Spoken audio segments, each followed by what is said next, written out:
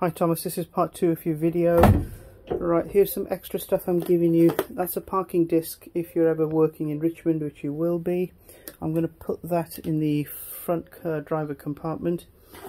I'm giving you two smoke capsules, uh, a charger unit, and also uh, a little plastic folder that contains service reports, blank service reports if you come into the front cabin of your car, of your van, two shirts, um, a fleecy and a jersey. And also one thing I want to also say to you is that sat nav belongs to me and it belongs to my personal uh, Fiat Doblo. Uh, so when yours gets handed back in in three months time, you need to make sure that gets disconnected and returned to me.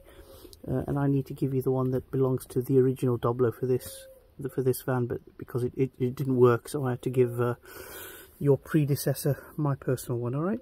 So that's basically everything there. Your clothing is there. Um, I'm also going to have a your fuel card and also your contract of employment presented to you as well. Alright, now I'm going to be putting all of this kit in your Polo Solo bag in here, alright? That's generally where it belongs. Thanks a lot, bye.